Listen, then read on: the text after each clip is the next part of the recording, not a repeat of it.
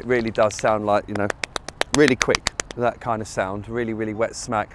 And lots of people talk about things like goose pimples. It's that very kind of feeling. Your arms tingle, the hairs on the back of your neck, you get that shiver and that warmth, but that, it's a very pleasant feeling. It's a feeling of excitement and everyone going, yeah, and oh, you know, all those kind of things. It's really amazing. That's really cool. I wonder if I can get a picture of it.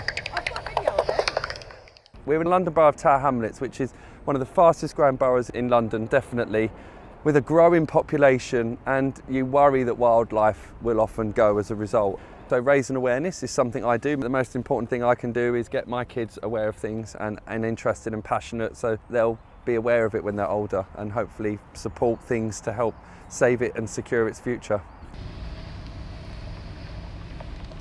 There. Ooh, look. It feels like ooh, because it's surprising. Daddy gets a little bit happy and hyper sometimes when he sees bats because they are basically his favourite animal. Also, he loves bats because he, they do that um, sound. it just went there.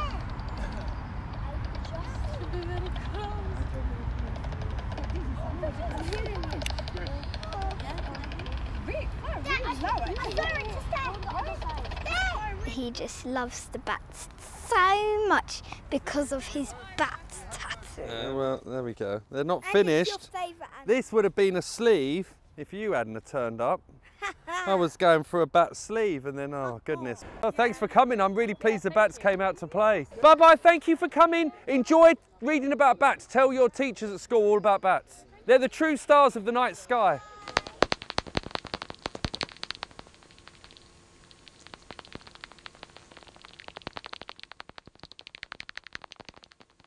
I reckon we saw about four. There,